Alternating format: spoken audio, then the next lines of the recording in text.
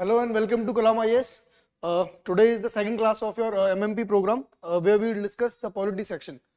Uh, today we will discuss uh, your various important topic with respect to your uh, mains program and those topics are like center-state relationship which include federalism as integral part and apart from that we will discuss the judiciary and in the judiciary we will discuss judicial activism, judicial review, judicial overreach and the difference between them and the judicial accountability and other issues related to the judiciary. And then in this video we will discuss about the fundamental right, their nature, their uh, significance, their uh, criticism, the analysis, the significance and the directive principle of state policies. Okay.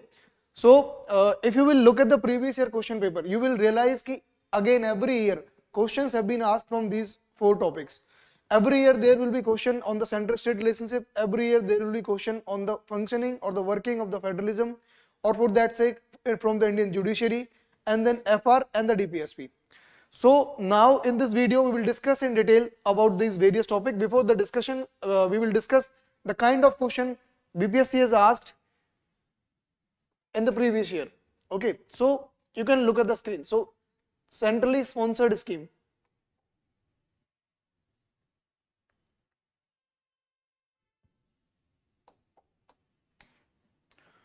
From where I can do that now.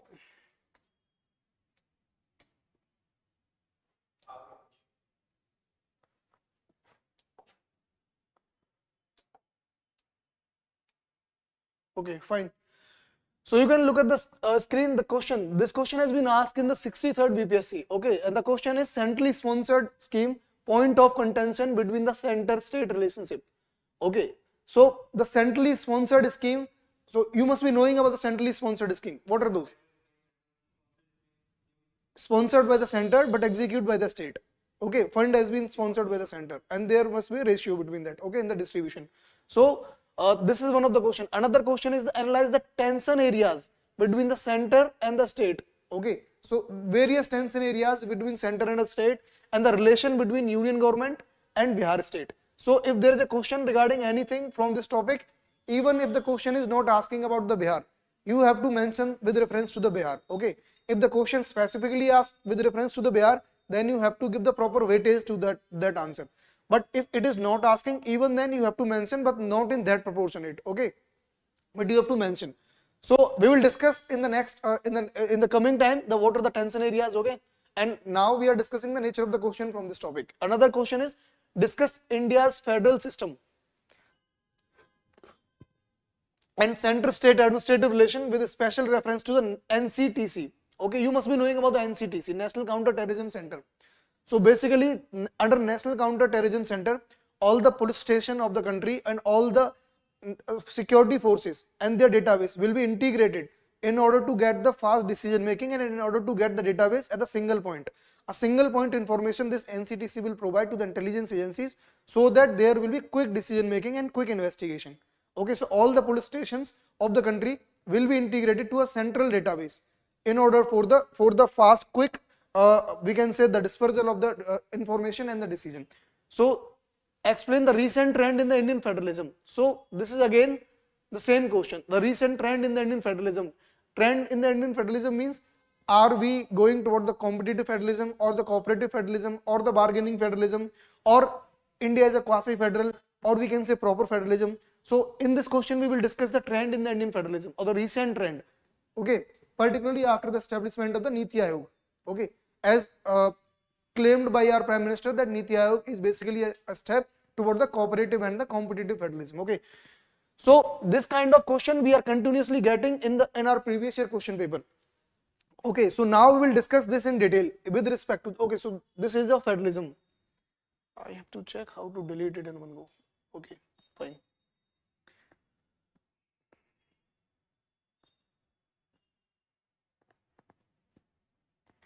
Oh, it is not moving.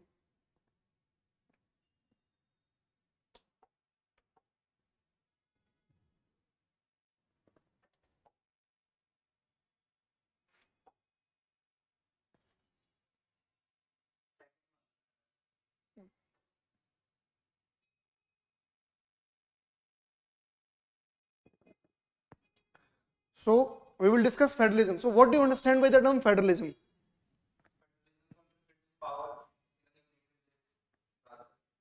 So basically uh, federalism comes from the latin verb fedus which means government by contract. Okay. So there is a constitutional basis for the distribution of power with the center and its subunits. Okay. So basically in india if we will see why india is a federal state so we can say that in india there is a central government at the center union government at the center and there are sub-national government at the state level. And there is a constitutional basis for the distribution of power we can say that in, in the schedule 7 the list system the central list the state list and the concurrent list and the residuary list so there's a constitutional basis so what are the key requirement to be a federal state tell me what are the three basic ingredient requirement to become a federal state power distribution between state and center. fine State has to be their own autonomy. Hmm. So there is a constitutional basis for the distribution of power, written constitution, okay, integrated judiciary. So these are the fundamental thing which a federal country require and in India all these things exist. However, there are various commentary by the scholars. Some says like K.C. Vere says India is a quasi-federal state. Do you mean do, do you know what, what the quasi-federal mean? No, it is not half. Basically, it means कि the, the, the federalism in India is tilted toward the central government. Okay. Federalism basically means कि जो state की जो state है, उनकी autonomy है। ठीक है? दो लेवल ऑफ़ गवर्नमेंट है। एक सेंट्रल लेवल एक स्टेट लेवल और दोनों में बराबर उनके फंडामेंटल एरियाज़ ऑफ़ डोमेन है और वहाँ they are independent so this is federalism but India is quasi federal means कि not complete federal government why if not complete federal then what is the situation So the needle is tilted toward the central government. So how we can say India is a quasi-federal state? There are various reasons to claim India as a quasi-federal state, like All India Service. Okay, so in All India Service, they are appointed by the central government and appointed and operated by the central government only, but they work in a state government, and state government has very less say regarding their uh, uh, uh, uh, transfer and promotion and all these things. Apart from that, there are other various reasons. So we will discuss it in the tense and areas. Okay. So now uh, we can say why it is a quasi-federal, like three, Article 356 president rule. Central government can introduce the president rule. Apart from that there are article 1 2 3 okay central government can completely bifurcate the state can change the name of the state can alter the boundaries of the state without even the will of the state. Okay apart from that the, the, the governor's role. Governor is appointed by the central government to look at the functioning of the president uh, or the state functioning.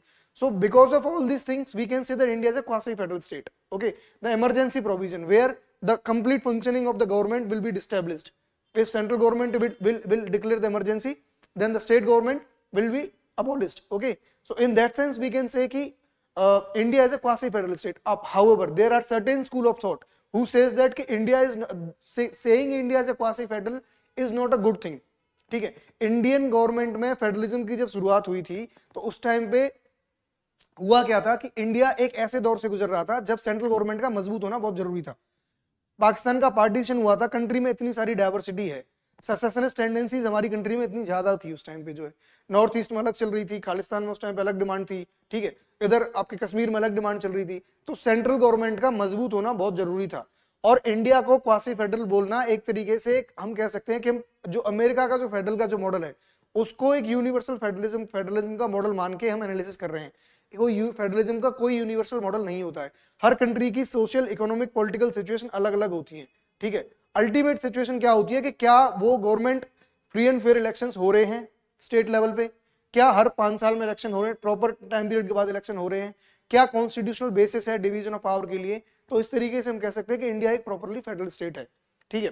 तो इस तरीके से federalism पर अगर question आता है तो एक प्रॉपर डेफिनेशन लिखे we can start with the Latin word and then we can say the three fundamental requirement for the federalism and then we can start as for the questions so basically if someone will ask कि define the centre state relationship so we will divide the centre state relationship in the three major parts okay what are those three major part the legislative relation okay the administrative relation and the financial relation right so looking at the legislative relation, you must be knowing what is the legislative relationship between the central and the state government.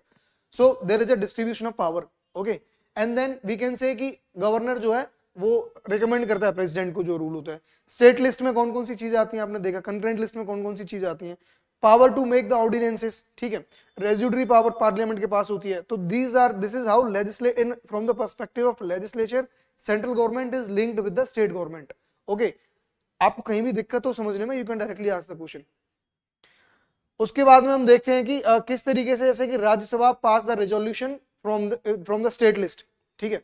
Rajya Sabha जो है state list में जो भी अगर कोई काम है तो राज्यसभा डायरेक्टली रेजोल्यूशन पास कर सकती है उसके रिगार्डिंग में। Rajya Sabha is the power this the special power Rajya Sabha is having तो राज्यसभा सेंट्रल गवर्नमेंट का है स्टेट लिस्ट में जो काम स्टेट का है तो this is how state and the centre are linked from the legislative perspective okay तो अब हमने देखा कि किस तरीके से पार्लियामेंट लेजिस्लेशन लेजिस्लेट करती है स्टेट फ़ील्ड राज्यसभा करती है during the national emergency central लोक पार्लियामेंट करता है, ठीक है? व्हेन स्टेट मेक रिक्वेस्ट जब दो स्टेट या दो से ज़्यादा स्टेट रिक्वेस्ट करते हैं तो पार्लियामेंट लॉ बना सकता है।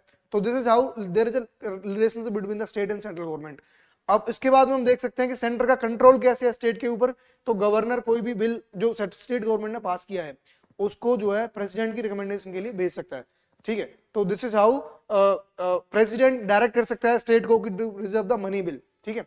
This is how central government can control the legislative process of the state और इन सब रीजन की वजह से हम बोलते हैं कि सेंट्रल गवर्नमेंट ज़्यादा हस्तक्षेप करने लगती है कभी कभी तो इसकी वजह से क्वासी फेडरलिज्म वाला जो जो अब एक, क्लेम है वो कभी कभी मतलब पावरफुल हो जाता है। अब दूसरी बात अगर हम करें administrative now till now we will discuss we have discuss the legislative relationship अभी अगर एडमिनिस्ट्रेटिव रिलेशनशिप की बात करें तो एडमिनिस्ट्रेटिव रिलेशनशिप में हम देखेंगे किस तरीके से distribution of the executive powers ठीक है? एग्जीक्यूटिव पावर जो है लॉ एंड ऑर्डर की जो बात हो गई, ठीक है? सेंट्रल डायरेक्शन देती है स्टेट गवर्नमेंट को, ठीक है? म्यूचुअल डेलीगेशन ऑफ़ फ़ंक्शन जैसे कि हम देख सकते हैं कि without the consent of the president जो है, जो एग्जीक्यूटिव एक्शन है स्टेट के, वो नहीं हो सकते हैं, ठीक है? समझ रहे हो आप बात को? इसके अलावा हम जब देखते हैं किस तरीके से जैसे ऑल इंडिया सर्विस है तो these are comes under the executive relationship appointment है किसी चीज़ की स्टेट में कोई अपॉइंटमेंट करनी है तो ये सारी चीज़ें जो इंटीग्रेटेड जुडिशियल सिस्टम है so these are the executive relationship ठीक है? फाइनेंशियल रिलेशनशिप की बात अगर हम करें तो how centre and state are linked in in from the financial perspective और जब आप इन चीज़ों को अपने आंसर में लिख रहे हो, आपको ऑल्टरनेट जो उसका कॉन्स्टिट्यूशन आर्टिकल है, वो आपको याद होना चाहिए अपने आंसर में. ठीक है? अगर आप आर्टिकल नहीं लिख रहे हो तो आपको नंबर उतने अच्छे नहीं मिलेंगे. समझ रहे हो? आप जैसे सपोज़ कर रहे हो कि गवर्नर बिल को रिज़र्व करता है प्रेसिडेंट की रिकमेंडेशन के लिए, आपने पॉइंट लिखा। तुरंत ब्रैकेट में आप लिखोगे अंडर आर्टिकल 200 ठीक है? सपोज़ आप कोई दो स्टेट रिक्वेस्ट दो या दो से ज़्यादा स्टेट जो है, अगर रिक्वेस्ट करें पार्लियामेंट से तो आप ब्रैकेट में लिखोगे आर्टिकल 248 ड्यूरिंग नेशनल इमरजेंसी लिख रहे हो तो आप आर्टिकल 352 लिखोगे। तो एक तो होता है simply writing the argument yeah but that will not fetch you proper marks because everyone is doing the same thing so to go one step ahead to influence the examiner you have to write the particular article related to that topic okay so you have to do this now coming to the financial relationship so financially how central and state government are linked tell me how how they are linked how central and state government are linked financially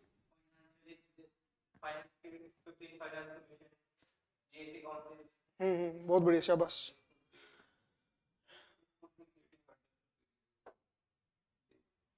no no, this is not uh, coming in there. Mm, you might be not seeing what is actually there but this uh, camera can see. So you can sit here if you want. At this place.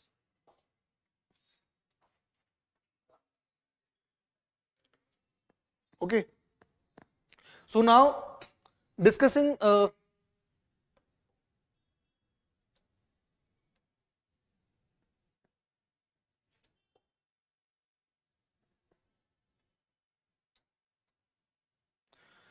so the taxation power right finance commission की recommendation for the devolution grant in aids so this is how central government is linked apart from that the borrowing powers of the state ठीक है ठीक है so all these things distribution of tax revenues distribution of non tax revenues grant in aids okay and then allocation of taxing power tax state government जो state list पे लगा सकता है central government इस पे लगा सकता है और रेजिडरी पे भी लगा सकता है सेंट्रल गवर्नमेंट जो है so this is how they are linked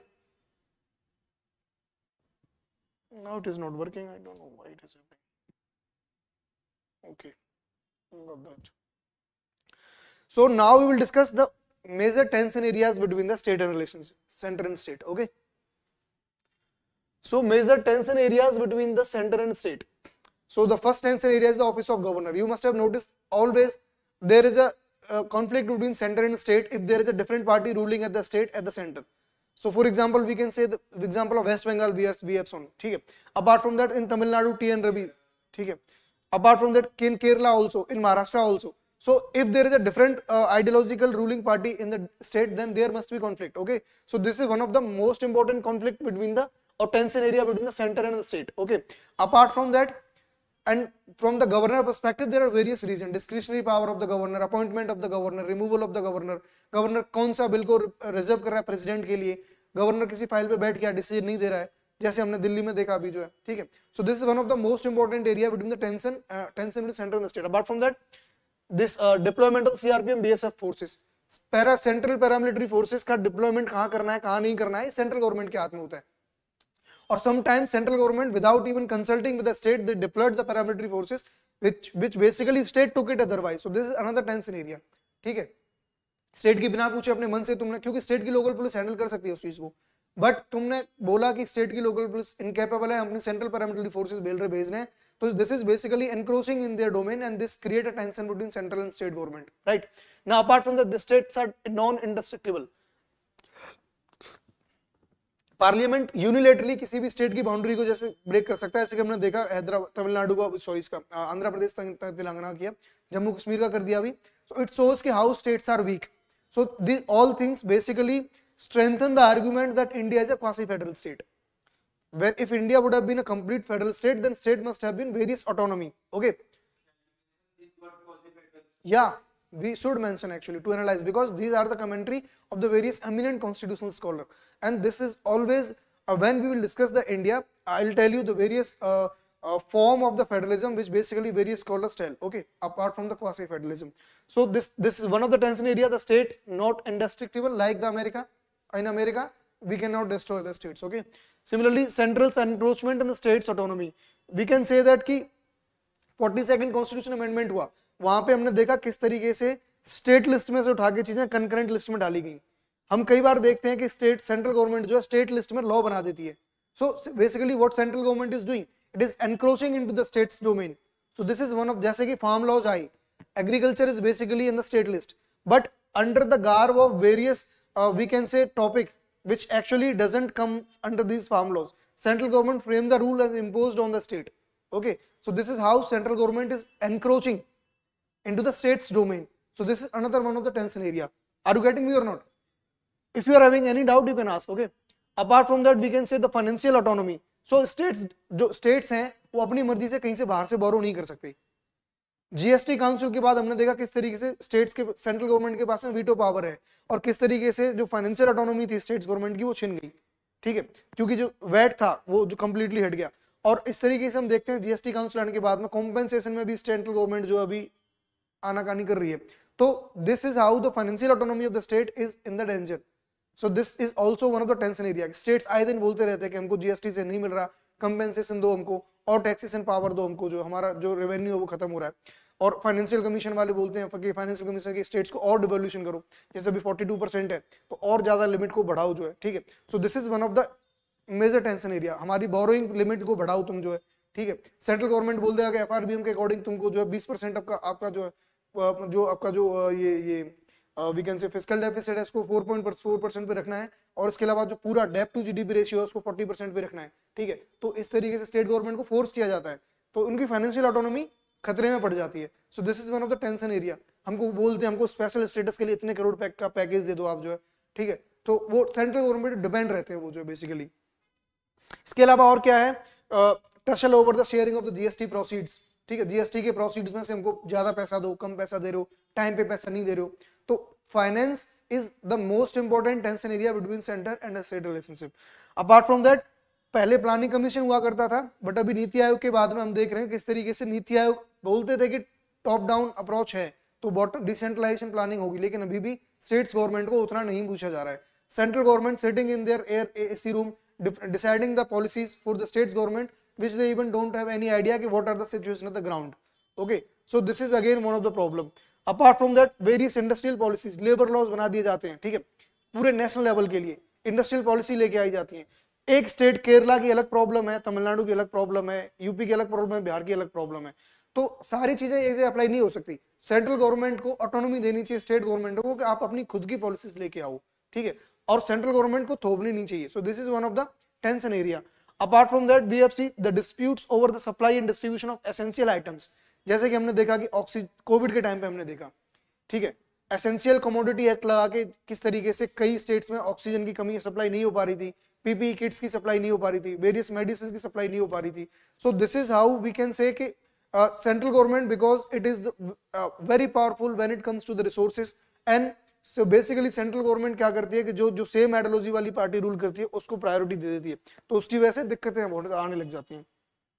CBI का हमने देखा आए दिन इश्यू रहता है। सीबीआई की रेट जैसे ही मतलब बिहार में जैसे कि हमने देखा कि जैसे ही नीतीश कुमार की गवर्नमेंट नीतीश ने आरजेडी के साथ में अपना जो है गठबंधन किया सीबीआई की रेट बढ़ने लगी बैंकर वाली। तो the misuse of the central institution is another one of the tension area not only CBI, apart from that CBC, CAG, ED. Okay, so basically central government is using the institutions for the political vendetta.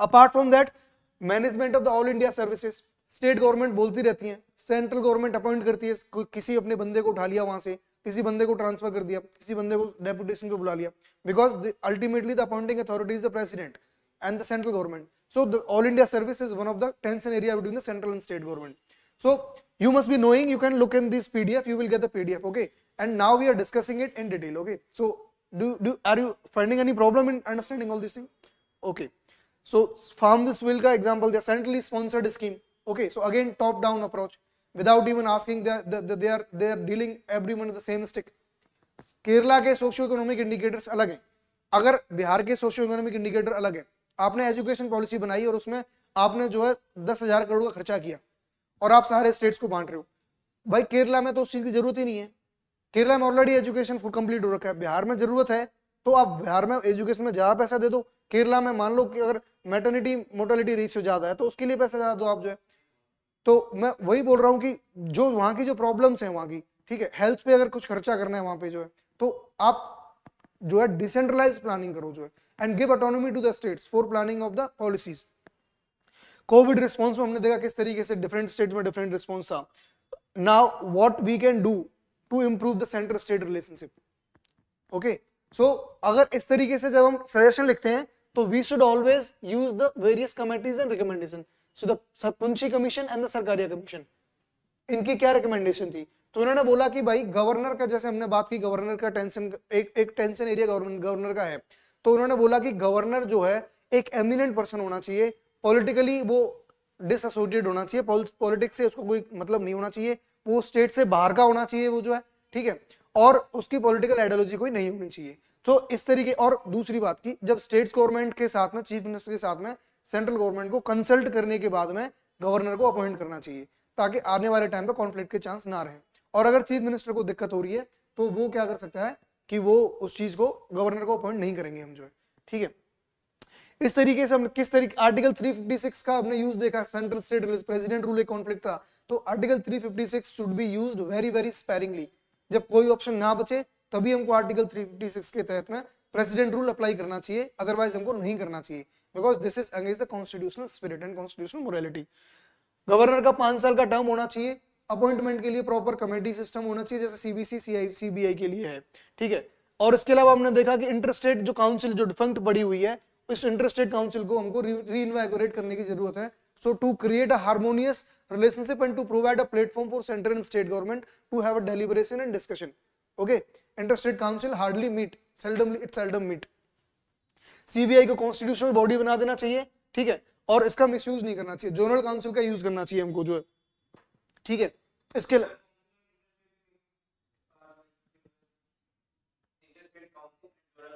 हाँ। नहीं नहीं interstate council different thing zonal council interstate council के अलावा जो है, जैसे north east की zonal council हो गई। हाँ तो interstate council different thing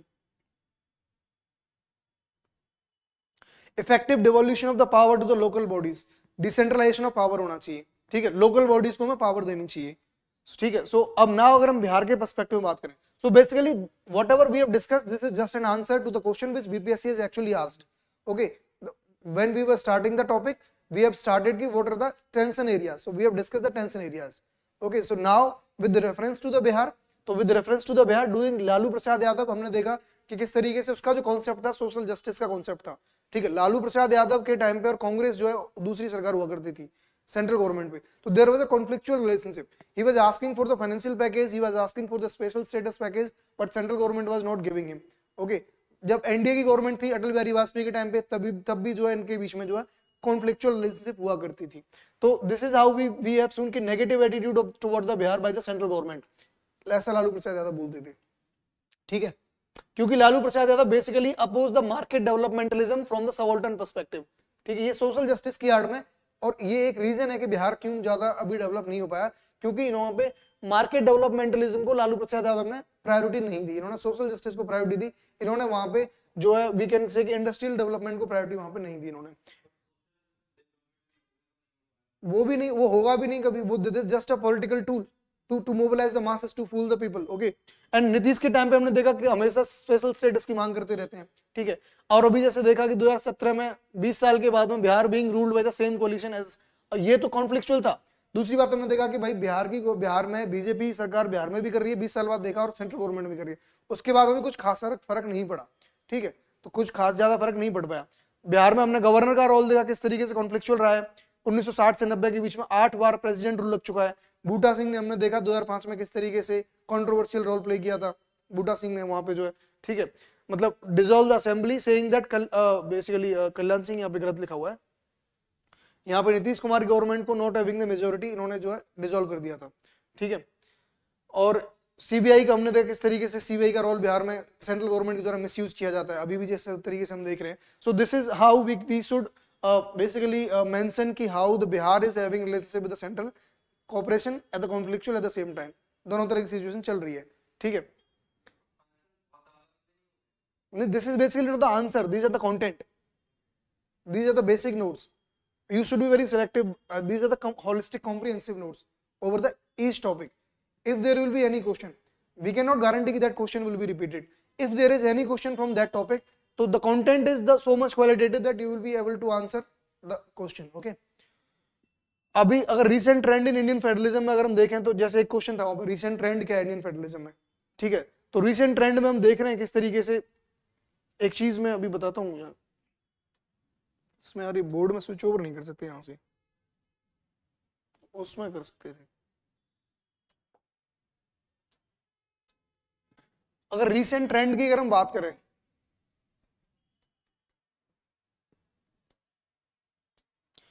तो ट्रेंड किस तरीके से एवोल्यूशन हुआ, वो हम देखें। तो पहले क्या था? कोऑपरेटिव फेडरलिज्म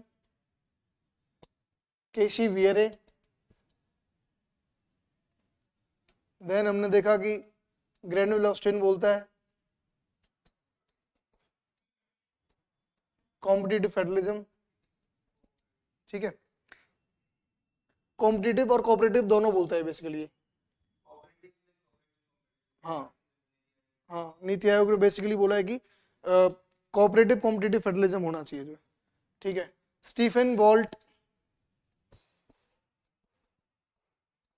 बोलता है क्या? बार्गेनिंग फेडरलिज्म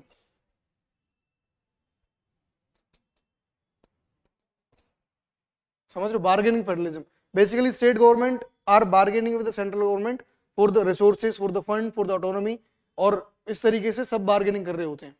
तो किस तरीके के ट्रेंड हम देख रहे हैं? कि एक तो कोऑपरेटिव देखा हमने फेडरलिज्म फिर हमने देखा कोऑपरेटिव कॉम्पिटिटिव फेडरलिज्म ठीक है? फिर हमने देखा कि बार्गेनिंग फेडरलिज्म फिर हमने देखा कि एक तो कॉपरेटिव कॉम्पिटेटिव साथ साथ चल रहे थे, जैसा कि नीति आयोग बोलता है। दूसरा हम देखेंगे सिर्फ़ कॉम्पिटेटिव फेडरलिज्म चल रहा है। स्टेट गवर्नमेंट एक दूसरे को कम्पीट करके अपने हिस्से में ज़्यादा शेयर लेना चाह रहे हैं। जैसे कि इन्वेस्टमेंट के लिए vibrant Gujarat vibrant Bihar investment summit होते हैं। So this is how this increasing the developing trend in the federalism in India ठीक है? ये जो नया ट्रेंड हम देख रहे हैं this is what the developing trend the changing dynamics of the federalism in India ठीक है? तो बाकी ये जो कमेंट्री है, आप ये पीडीएफ में देख लेना। ठीक है? सारी चीज़ों को भी, जैसे प्रोफेसर एमपी सिंह के क्या व्यूज़ हैं, आपको स्कॉलर कोट करने पड़ेंगे एक्चुअल में। अगर आप, क्योंकि क्वेश्चन इससे आएगा ही आएगा और सारे स्टूडेंट जो है जनरल कंटेंट लक्ष्मीकांत द्वारा लिख के आएँगे। तो अगर आप इस तरीके से थोड़ा सा मैच्योर कंटेंट लिखते हो स्कॉलर्स को कोट करते हो कीवर्ड्स को कोट करते हो इस तरीके से जो है तो आप ऑलवेज जो है एक एज इफ़ेक्ट क्रिएट कर पाओगे आप जो है। ठीक है क्रिटिकल इवेल्युएशन में देखा कि क्वासी फेडरल बोलते हैं कॉपरेशन फेडरलिज्म बोलते हैं बी आर अंबेडकर ने क्या बोला है ऐसा एस आर वोमी केस में सुप्रीम कोर्ट बोलते हैं, बोलता है कि federalism is the basic structure of the constitution ठीक है तो इस तरीके से आपको जो है कंक्लूड करना है ये जो है now coming to the judiciary मेरे ख्याल से अभी कंटेंट पीडीएफ में सारी चीज़ें अवेलेबल हैं और जो मोटी मोटी चीज़ें मैंने आपको एक्सप्लेन कर दी है ठीक है कि क्या ट्रेंड है इंक्रीजिंग ट्रेंड और basically we whatever we have discussed we discussed it with respect to the previous year questions okay so your content whatever is in the slide is basically uh, uh, we can say direct model kind model answer kind of thing for the questions whatever will be asked in the examination now coming to the judiciary. Okay. So, in judiciary, we will look at the question, what kind of question they are asking.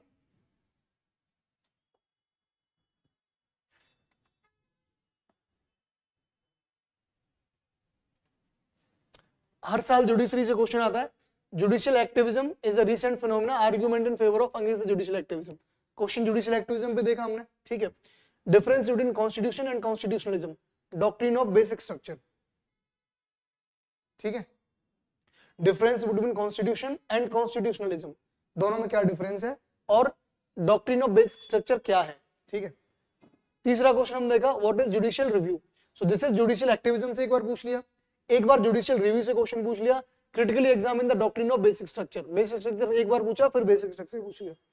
Again question पूछा गया judicial activism से। Meaning and evaluation again judicial action is double edge weapon in parliamentary democracy same question same topic पे बार बार repeat हो रहे हैं।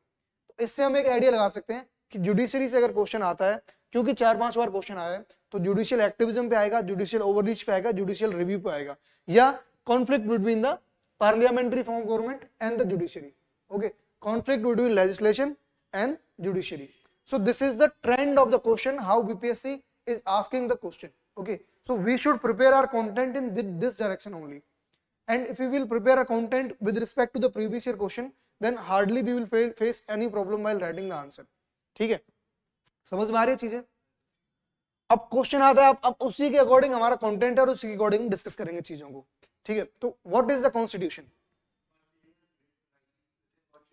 ठीक it's basically a legal document which tells you how the government of the country should be run okay and what is parameters. good शाबाश ठीक है constitutionalism is basically the rule of law following the spirit of the constitution this is constitutionalism being a constitution does not guarantee there is a constitutionalism or not okay in fact pakistan is also having the constitution and the china is also having the constitution so if the, some country is not going by the spirit and the, the, the soul of the constitution then there is no constitutionalism okay so this is the difference basi- basically between constitution and constitutionalism and now in various judgements Supreme Court reiterated the fact that like in Rameshwar Prasad case constitutionalism check the absolutism abhor the absolutism अगर constitutionalism है तो autocracy नहीं होगी। Rule of law होगा। Dictatorship नहीं होगी वहाँ पे। आई कोलो केस में भी सुप्रीम कोर्ट ने बोला कि constitutionalism is important to ensure that the democratic principle in which the government is whom shall not be destroyed okay? ये दिख रहा है, मैं बीच में तो नहीं आ रहा ना मतलब इसके स्लाइड के जो ज़्यादा। नाउ प्रिंसिपल्स ऑफ़ कॉन्स्टिट्यूशनलिज्म क्या क्या है? तो सेम वही प्रिंसिपल्स हैं कॉन्स्टिट्यूशनलिज्म के, कि सेपरेशन ऑफ़ पावर होगा, ठीक है?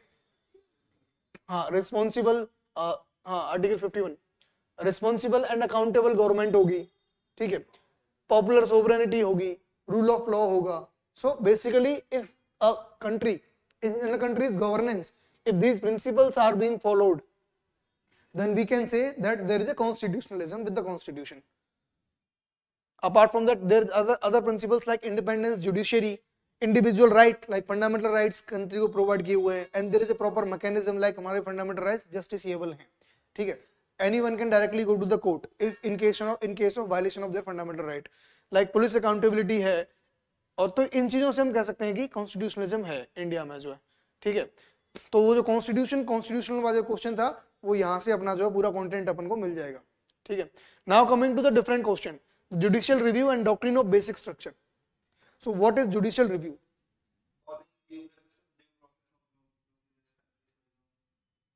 no judicial review means reviewing the decisions reviewing the decisions of the of the ex- executive or the legislature that is different thing following due process of the law it is the rule of law it comes under the rule of law but judiciary executive ने जो law बनाया है, क्या वो constitutional की spirit के under में है? क्या वो कहीं वो कॉन्स्टिट्यूशन से कॉन्फ्लिक्ट तो नहीं कर रहा है? क्या कहीं वो फंडामेंटल राइट को वायलेट तो नहीं कर रहा है?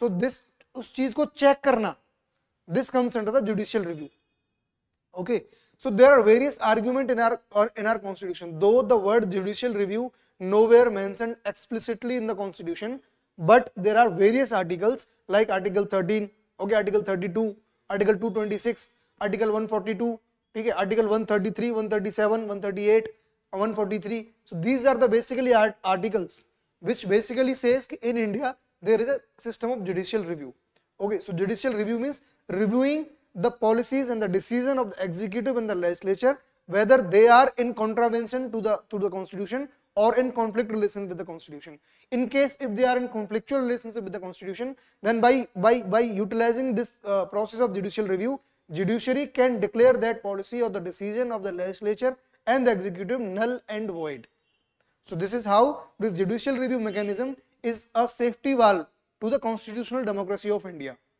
Are you getting me or not? So so, अब इस पे हम स्कॉलर्स का पर्सपेक्टिव डालना ज़रूरी है। मैं वही बोला कि अपने आंसर्स को थोड़ा डिफरेंट बनाने के लिए आपको डिफरेंट पर्सपेक्टिव डालना ज़रूरी होता है। तो लॉर्ड ब्राइसी ने बोला था कि no better test of excellence of government किसी भी कंट्री की गवर्नमेंट का इससे बेहतर टेस्ट नहीं हो सकता कि वहाँ की जुडिशरी कितना अच्छे तरीके से काम कर रही है। अगर जुडिशरी बहुत अच्छे तरीके से काम कर रही है दैट मीन्स कि उस कंट्री की गवर्नमेंट बहुत ज़्यादा अच्छी है। ठीक है? ग्रैंडविल ऑस्टिन बोलते हैं कि after India was done with the political revolution in 1947 it embarked on social and economic revolution ठीक है? ये पंडित नेहरू दोबारा आ गया यहाँ पे। तो बेसिकली बोलते हैं कि 1947 में पॉलिटिकल इंडिपेंडेंस तो मिल गया रिवॉल्यूशन के बाद। लेकिन सोशल और इकोनॉमिक इंडिपेंडेंस उसके बाद में मिला और वो जुडिशरी ने उसमें बहुत ज़्यादा रोल प्ले किया। ठीक है? वो हम फर्दर देखेंगे किस तरीके से। Judicial review basically the concept of judicial review originated in the us basically in that case. Madbury marbury versus madison case. ठीक है? इस केस में this case established the concept of judicial review in usa way back 200 or 1 uh, 300 year backs in india in india में भी एक से तरह का केस है uh, uh, Chandra Kumar versus Union of India case इस case में Uh, जैसे वहाँ पे मारवरी वर्सेस मैडबरी जो वो वाला केस था यहाँ पे एल चंद्र कुमार केस में बोला कि कॉन्स्टिट्यूशन में जुडिशरी के पास में जुडिशियल रिव्यू की पावर है। समझ में आ रहा नहीं आ रहा? इसके बाद में हमने देखा मिनरवा मिल्स केस में भी मतलब ये केशवानंद भारती केस में डॉक्ट्रिन ऑफ़ बेसिक स्ट्रक्चर दिया गया था। सॉरी अब मिनरवा मिल्स केस में फर्दर उस चीज़ को बोला गया कि basic structure doctrine is the integral part of the constitution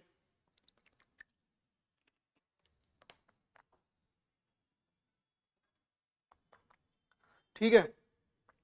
अब scope of judicial review three dimension for the scope of judicial review the one is ensure the fairness in the administrative reaction judicial review protect constitutionally the guaranteed fundamental rights of the citizen ठीक है to rule on legislative competence between center and state power of supreme court of india to enforce these fundamental right basically this article is derived from the article 32 enforcement of the fundamental right ठीक है now expanding the judicial review अब judicial review expanding हमने देखा article 21 right to life article 21 में क्या हुआ था what is the Maneka Gandhi case why Maneka Gandhi case historical case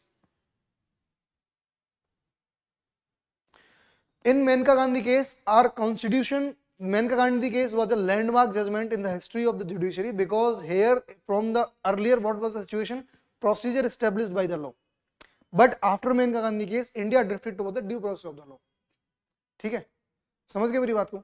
more humane बन गए। पहले क्या लिखा था भाई? जो लिखा है, उसी को हम टारगेट करेंगे। बट बाद में हमने देखा कि एक एक भाई subjectivity law is subjective not objective तो हमने देखा किस तरीके से भी transform from the procedure establish by the law to the due process of the law by the Maneka Gandhi case and hence Maneka Gandhi case is considered as a milestone in the development of the judiciary of India and in Menka Gandhi case, it expanded the, the spectrum of right to life basically.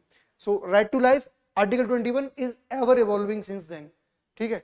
अब क्योंकि बहुत subjective है तो right to life में right to take the the clean air okay right to we can say food right to shelter. So these all are the further uh, uh, comes under the right to life given by the judiciary.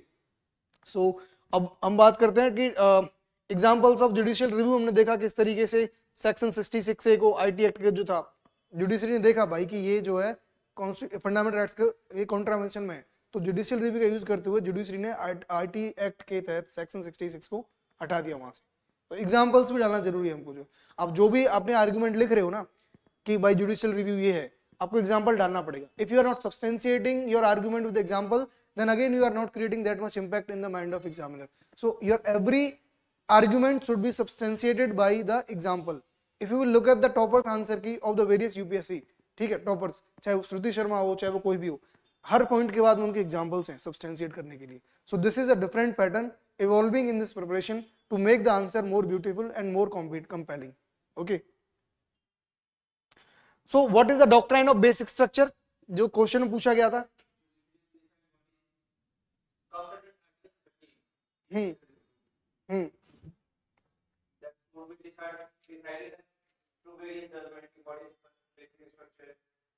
ठीक है judiciary will judiciary will decide what is basic structure but what is basic structure what is doctrine of basic structure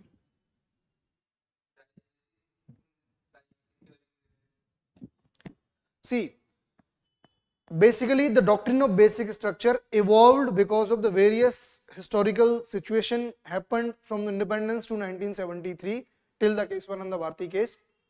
In Keswananda Bharti case again Keswananda Bharti case is a historical uh, judgment in the history of Indian judicial development. Why? Because this doctrine of basic structure basically evolved from that case. So what is doctrine of basic structure?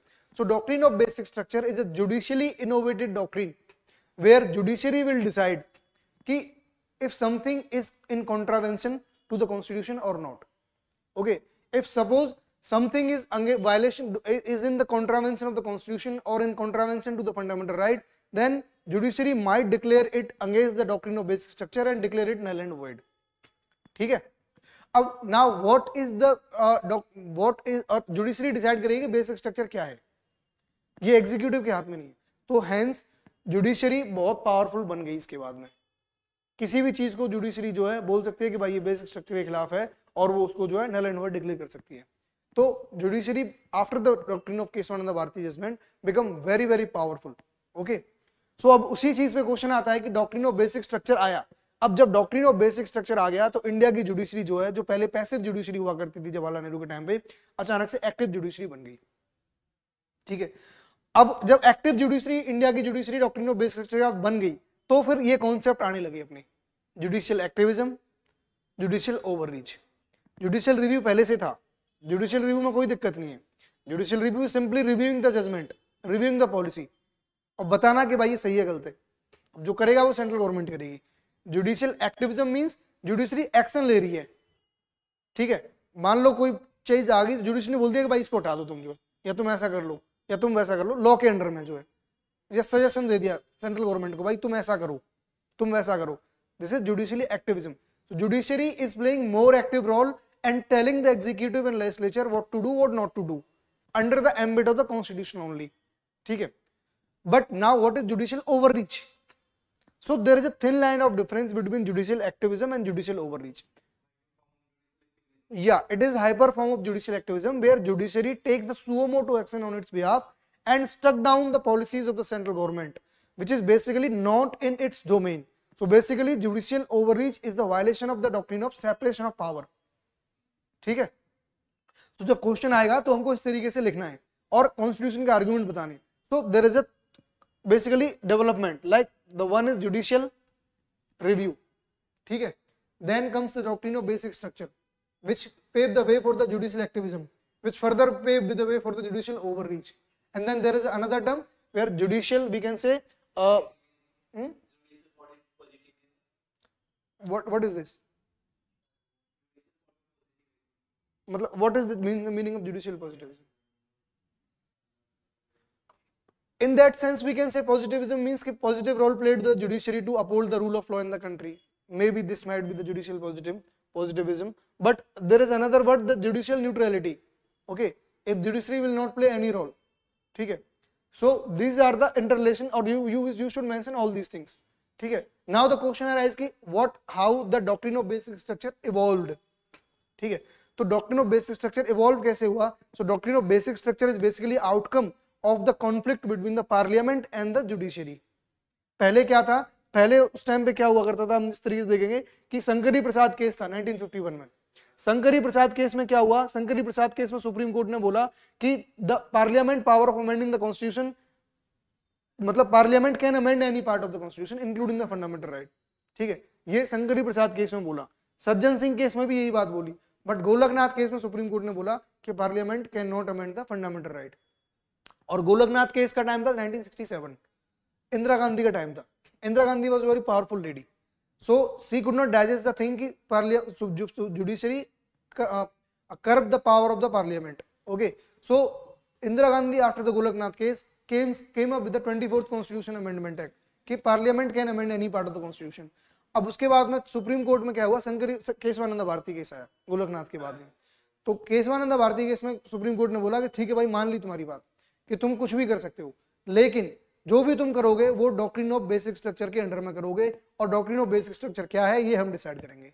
ठीक है तो उस दिन के बाद आज तक procedure चल रहा है कि parliament can amend the fundamental right okay parliament can amend any part of the constitution but can not amend to the extent that it will violate the basic structure of the constitution so उसके बाद Minerva mills case में भी तो this is how the doctrine of basic structure evolve okay so आपको ये जो idea पूरे सारे होने चाहिए।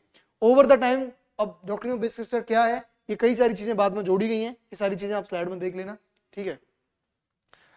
इसके बाद कंक्लूजन हम लिख देंगे कि the doctrine of basic structure help to prevent the legislative excess as was evident in the emergency period और हम कह सकते हैं कि इसने एक जो है it it prevent the conversion of democracy into autocracy ठीक है? बट एक चीज़ हमको और ध्यान रखने की ज़रूरत है, चाहे जुडिशियल एक्टिविज्म हो, चाहे जुडिशियल ओवररीच हो, कि it should be act as a medicine ठीक है? ये डेली मतलब कि मेडिसिन मतलब आप जब मेडिसिन की तरह काम करना चाहिए, आप ये नहीं कि भाई रोज दवाई मेडिसिन को रोडियो में कन्वर्ट कर दो आप जो है। वो वैसी सिचुएशन नहीं होनी चाहिए। कभी कभी यूज़ करनी चाहिए जो है। समझ रहे हो मेरी बात को? ऐसा नहीं कि हर time you are interfering into the domain of the legislator and executive okay so this is how अभी जुडिशियल एक्टिविज्म हमने डिस्कस कर लिया। जुडिशियल एक्टिविज्म क्या है? For the further detail you can look into the PDF okay examples इसके देख लिए हमने। एग्ज़ाम्पल देख लेना तुम जो है। ठीक है? Collegium system N J curb कर दिया, ठीक है? तो वो जुडिशियल ओवररीच का एग्जांपल है। जुडिशियल ओवररीच हम बोल सकते हैं सुप्रीम कोर्ट ने बोल दिया कि जितने भी ब्यूरोक्रेट्स हैं, इलाहाबाद हाईकोर्ट ने बोला, वो अपने सारे लड़कों को सरकारी स्कूल में भेजो। ठीक है? तो दिस इज़ जुडिशियल ओवररीच ठीक है? बोल दिया कि रोड के सामने जितने भी ठेके हैं, सबको हटाओ, खत्म करो वहाँ से। जो सो ये लेजिस्लेटिव पॉलिसी मेकिंग सब लेजिस्लेटिव का काम है। You are not entitle to legislate okay legislature is there to legislate. You are here to, for the judicial kind of thing. So do your thing. Why are you encroaching into someone else domain? Okay. अब इसके pros भी हैं judicial activism के cons भी हैं judicial activism के. वो सारी चीज़ आप वे फॉरवर्ड क्या होना चाहिए, सारी चीज़ आप देख लोगे. जुडिशियल ओवररीच भी हमने डिस्कस कर लिया. इसमें स्कॉलर्स के पर्सपेक्टिव आप एक बार देख लेना. उपेंद्र बख्शी ने क्या बोला है? प्रताप भानु मेहता ने इसके बारे में क्या बोला है? ठीक है, ये सारी चीज़ें आप जो याद कर लेना. इनकी बुक का नाम है अनफेयर टू द जस्टिस और इसके बाद में प्रताप भानु मेहता और देवेश कपूर की बुक है. तो ये इनकी सारी कमेंट्री है। आपको ये लिखने पड़ेंगे। ये आपको लक्ष्मीकांत में चीज़ें नहीं मिलेंगी, ठीक है? और जो लड़के, जो जो लक्ष्मीकांत से पढ़ के तैयारी कर रहे हैं, वो जुडिशियल एक्टिविज्म पे जुडिशियल ओवररीच पे आंसर लिखेंगे, वो ये क्वालिटी का कंटेंट नहीं लिख पाएँगे। तो क्योंकि सबको पता है क्वेश्चन यहाँ से आएगा, सबके पास में रटा हुआ कंटेंट है। आप भी वही कंटेंट लिखोगे तो how you will differentiate your content with others to differentiate your content with others you have to use this kind of gems and jewels to to to to make your answer qualitative, okay? So, ये चीज़ें आपको ध्यान रखनी है। The keywords facts and diagrams figures and the scholars commentary in the polity section you cannot skip if you really want to score high in your uh, examination center so now coming to the fundamental right right so fundamental right again each year questions are being asked if you will look if you will analyze the, the recently held three questions uh, aao auditor and cdpo अभी दो महीने पहले हुए हैं उसमें अगर आप polity section को देखोगे तो जो भी टॉपिक मैंने पढ़ाए हैं पिछली क्लास में जो पढ़ाए थे और अभी जो पढ़ा रहा हूँ कोई भी क्वेश्चन वहाँ से बाहर नहीं आ रहा। टेलीग्राम ग्रुप पे मैं, आप टेलीग्राम ग्रुप पे हो? कलाम एस बीपीएससी वाले पे। टेलीग्राम ग्रुप वाला। 151 मेंबर है जिसमें अभी जो ठीक है, उसमें मैंने अभी एक लिस्ट डाली है the ten most important probable topics ठीक है, जो 68 बीपीएससी मेंस के लिए 67 बीपीएससी मेंस के लिए। ठीक है? टेलीग्राम ग्रुप है Kalam I S BPSC PSIR नहीं ऑफिशियल नहीं। हाँ ठीक है। तो उसमें मैंने जो टेन टॉपिक्स की लिस्ट जो आपको अपलोड की है, वो टेन टॉपिक्स की लिस्ट में आप जो है देखोगे कि इन्हीं से क्वेश्चन आ रहे हैं। वो टेन टॉपिक से ही कोई भी पेपर उठा के देख लो, उससे बाहर क्वेश्चन नहीं आएगा। सिलेबस में पॉलिटी सेक्शन में is not categorically defined like UPSC उन्होंने सिंपल लिख दिया कि the question will be ask from the Indian political system अब इसका क्या मतलब हुआ? अब क्या तैयार करोगे आप जो है? पूरा एक पूरा इन्होंने तो यूनिवर्स आपके लिए ओपन छोड़ दिया। तो आपको सिलेक्टिव होना पड़ेगा। तो जो मैंने लिस्ट डाली है दस टॉपिक्स की आप उस दस टॉपिक्स को तैयार करिए। और I can guarantee you I can assure you कि आप पिछले दस साल के पेपर उठा के देख लो उससे बाहर क्वेश्चन नहीं आया है और आगे भी नहीं आएगा। तो जब सबको पता है कि वो क्वेश्चन पढ़ने हैं सब बहुत अच्छे से तैयार करके जाते हैं। सबके पास ऑलमोस्ट सेम कंटेंट रहता है। आपको ये, ये दौड़ है कि आपको अपना कंटेंट कैसे दूसरों से हटके बनाना है। उसके लिए आपको जो है मेहनत करनी पड़ेगी और ये सारी चीज़ें आपको डालनी पड़ेगी। ठीक है? अभी हम फंडामेंटल राइट पे आते हैं। सो फंडामेंटल राइट अपने पास में क्वेश्चन uh, जैसे आया है सेम क्वेश्चन आता है discuss about the fundamental right enshrined in the constitution and how judicial interpretation of article 21 expanded the scope of right to life. जैसे कि मैं आपको भी बता रहा था कि मेनका गांधी केस के बाद में किस तरीके से राइट टू लाइफ का जो जो स्कोप है बहुत ज़्यादा बड़ा है। ठीक है? और हमको क्या करना है? Discuss about the fundamental right discuss करना है इसका मतलब कि उनका नेचर क्या है उसका सिग्निफिकेंस क्या क्या है फंडामेंटल राइट क्रिटिसिज्म क्या क्या है? उसका इंपॉर्टेंस क्या क्या है? ठीक है? इसके अलावा do you agree with view that our constitution ने एक हाथ से फंडामेंटल राइट ले लिए और दूसरे हाथ से हमको वापस कर दिए? इसका मतलब क्या है? या exactly very good lots of in every fundamental right there are lots of exception reasonable restriction okay so this is how this kind of question and if you look another question की nature क्या है fundamental right का? Importance क्या है? Significance क्या है? What is the contribution in establishing the political democracy ठीक है? सो इस तरीके के क्वेश्चन बार बार पूछे जा रहे हैं। एक चीज़ का हमेशा ध्यान रखना कि इस तरीके के क्वेश्चन करते टाइम पे, क्योंकि आपको पता है क्वेश्चन आएगा एफआर पे। एफआर पे आपका एक सेट रटा हुआ, एक बहुत शानदार इंट्रोडक्शन होना चाहिए। एग्ज़ाम हॉल में लिखते टाइम पे आपको सोचना ना पड़े कि मैं इसका क्या इंट्रोडक्शन लिखूं। अगर वो आप करोगे तो बहुत ही एक कॉमन सा इंट्रोडक्शन लिख के जाओगे, अगर वहीं सोचोगे तो। और अगर यहाँ से तैयार करके जा रहे हो तो बहुत अच्छा इंट्रोडक्शन लिख के आओगे। और इंट्रोडक्शन आपने बहुत अच्छा लिख दिया तो you your first impression is the most important impression ठीक है?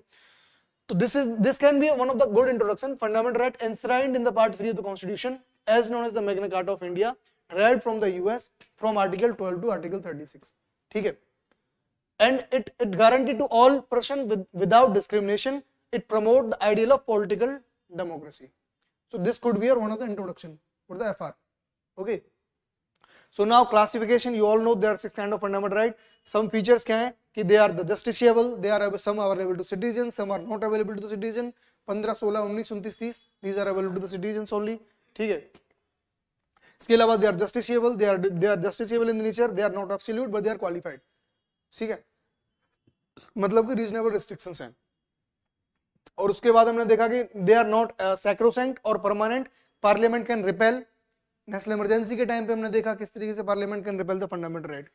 ठीक है? हाँ वेरी गुड ठीक है? तो ये uh, और वेरियस जजमेंट के साथ हमने देखा किस तरीके से ये जो है uh, uh, ये जो क्वेश्चन था कि हाउ आर्टिकल 21 जो है इवॉल्व तो उसका आंसर आपको ये है कि through various judgment the following rights have been included as a part of under article 21 कैसे इवॉल्व हुआ है? आर्टिकल 21 कॉन्स्टिट्यूशन में लिखा हुआ राइट टू लाइफ बस।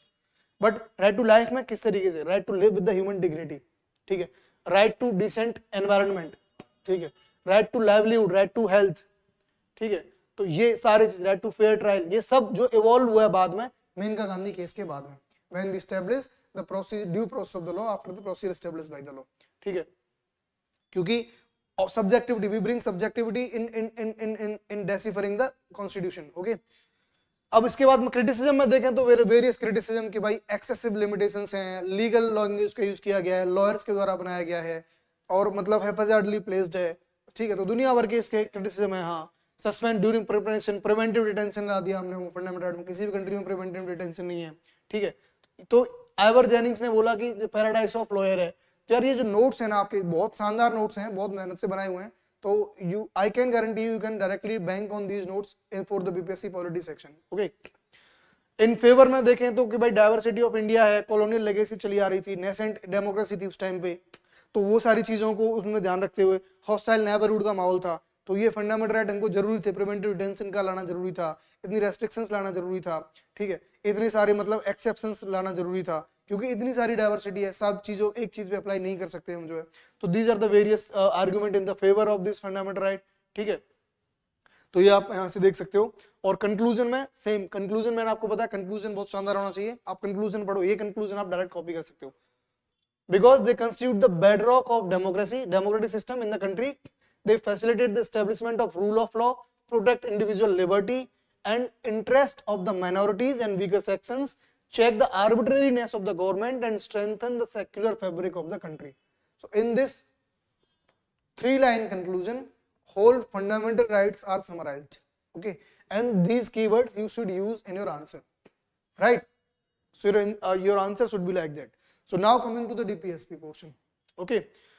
So again dpsp very important thing. Each and every year they're asking question either from the fundamental right or from the dpsp or by linking them both okay so what kind of question they have asked dpsp are not mere the pious declaration comment on how they have been applied in practice discuss the various dp directive principles how were these implemented in bihar after 1950 ठीक है discuss the directive principles मतलब बिहार का perspective भी पूछा गया है इसमें ठीक है discuss how DP is enshrined in the constitution and state their importance.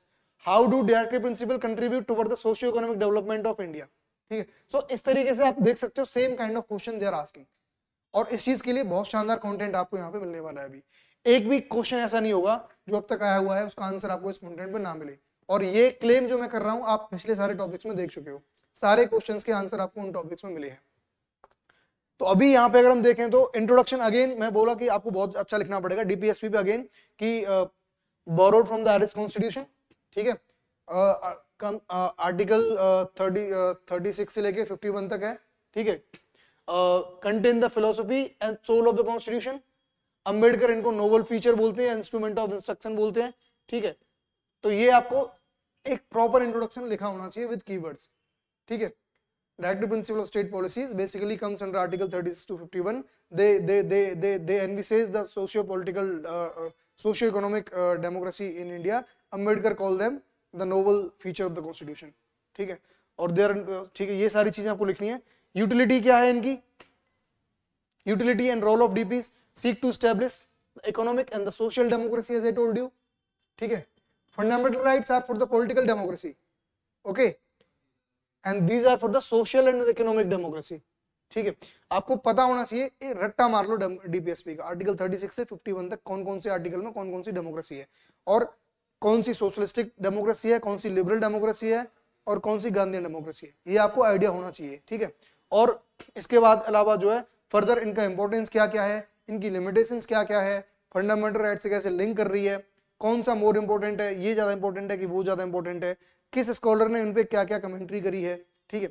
Sir Ivor Jennings ने क्या बोला है और कॉन्स्टिट्यूशन असेंबली के मेंबर ने डीपीएसपी पे क्या बोला था, ठीक है? सुप्रीम कोर्ट की जजमेंट क्या क्या रही है फंडामेंटल राइट और डीपीएसपी कॉन्फ्लिक्ट को लेके, ठीक है? इसके अलावा इनमें फर्दर क्या क्या सुधार किया जा सकता है, ये सारी चीज़ें आपको इस सेट स्ट्रक्चर में अपना आंसर आप लिखोगे जो है। है मतलब बोला है कि बोथ आर मतलब मिनरवा मिल्स केस में बोला है बेरूबारी यूनिट में बोला है कि both are this are the two vehicle और two two two wheels of a vehicle harmonious relationship होना चाहिए। However in case of conflict fundamental right will prevail हाँ। तो अंबेडकर के क्या व्यूज़ रहे हैं, ये भी आप देखोगे। ठीक है ग्रेनुल ऑस्टन ने क्या बोला है? अब इसमें आपको पता होना चाहिए कि सोशलिस्टिक डेमोक्रेट डीपीएसपी क्या क्या ये रही हैं। इसके अलावा गांधीयन प्रिंसिपल की क्या कह रही है? ये सब आपको पता होना चाहिए जो है। ठीक है लिबरल इंटेलेक्चुअल वाली क्या रही है? अब क्रिटिसिज्म में देखें तो क्या है कि no legal force to implement like fundamental right ठीक है? और illogically arranged no consistent philosophy ठीक है? इसके अलावा हम देख सकते हैं कि conservative based on the political philosophy of मतलब nineteen England relevant not in twenty first century पुराने आउटडेटेड हो चुकी है मतलब जो है। ठीक है तो this are the criticism constitutional conflict between centre and state होता है। स्टेट गवर्नमेंट के पास में पैसा नहीं है सेंट्रल गवर्नमेंट पैसा देता नहीं है। स्टेट गवर्नमेंट के पास। पैसा नहीं है कि डीपीएसपी को वो इम्प्लीमेंट कर पाए, ठीक है? कि भाई सबको बराबर वेजेस दे दें, या मैटर्निटी बिलीफ के लिए, या फिर मतलब न्यूट्रिएंट के लिए, या इन सब के लिए एनवायरनमेंट के लिए। भाई डीपीएस में तो सारी चीज़ें लिखी हुई हैं, लेकिन इनको इम्प्लीमेंट करने के लिए पैसे चाहिए। स्टेट के पास पैसे नहीं है सेंटर पैसे नहीं देता तो इसकी वजह से क्या होता है? कॉन्फ्लिक्ट होता है, ठीक है? अब इनके इम्प्लीमेंटेशन में क्या क्या किस तरीके से इम्प्लीमेंट हुआ है? बिहार में किस तरीके से इम्प्लीमेंट हुआ है? ये आप चीज़ देखनी पड़ेंगी आपको जो क्वेश्चन हमने देखा था। कि डीपीएसपी इम्प्लीमेंटेशन बिहार के परस्पेक्टिव में किस तरीके से बिहार गवर्नमेंट ने वेरियस स्कीम्स ला रखी हैं डीपीएससी डीपीएसपी को इम्प्लीमेंट करने के लिए। ये सारी स्कीम आपको पता होनी चाहिए। ये आप आपके आंसर में लिखोगे, ठीक है? ये सारे आपके आंसर के पार्ट हैं। जो भी लिकर बैन जो हुआ है, वो जैसे कि हमने देखा डीपीएसपी का पार्ट है, ठीक? गांधीयन के लिकर को बैन किया जाना चाहिए, ठीक है? तो ये इस तरीके से forest conservation act wild life act ठीक है? तो डीपीएसपी का इम्प्लीमेंटेशन बिहार में कैसे हुआ है? उसके आर्टिकल्स के साथ साथ ये आपको चीज़ें जल Jeevan Hariyali mission to protect environment ठीक है उसका आर्टिकल भी पता होना चाहिए आपको जो तो ये सारी चीज़ें आपको क्लियर होनी चाहिए कंक्लूजन में in spite of above steps DPSPs are not implemented fully and effectively due to the several reasons like inadequate finances ठीक है unfavorable socio-economic conditions and population explosion, strained central state relationship, illiteracy, lack of consensus among each and every section of the society. So in this one paragraph, I have mentioned all the reasons ki why DPSPs are not that much implemented. So in conclusion, आप वे forum डाल सकते हो कि we need to overcome all these problems. ठीक है now again coming to the commentary granville austin के क्या views रहे हैं because granville austin is authority over the indian constitution and this is not something which a, a pol science optional um, uh, student must be knowing but every person who is even of the gs or the evaluator a simple evaluator must be aware with the granville austin okay so आप इनको आराम से coat कर सकते हो, इसमें कोई ऐसी बड़ी बात नहीं है। तो आपको स्कॉलर्स की कमेंट्री भी डालना ज़रूरी है। हमने देखा कि कॉन्फ्लिक्ट किस तरीके से रहा है तो दीज आर द कॉन्फ्लिक्ट दोनों के बीच में किस तरीके से कॉन्फ्लिक्ट रहा है फंडामेंटल और डीपीएसपी के बीच में, ठीक है, किस तरीके से आर्टिकल 39 बी 39 सी का कॉन्फ्लिक्ट रहा है, सुप्रीम कोर्ट की क्या क्या बातें रही हैं, ये सब यहाँ पे आप स्लाइड से देख सकते हो। So this is how today I have covered this four important topic and in this PDF you will get a quality content and if you are having any doubt you just go through the pdf you can enrich your notes and you can again uh, read the, those pdf uh, and still if you are having any doubt you can just reach to me okay? I hope you like the lecture. So okay then thank you. Uh, see you in next video okay? Thank you. Thank you very much.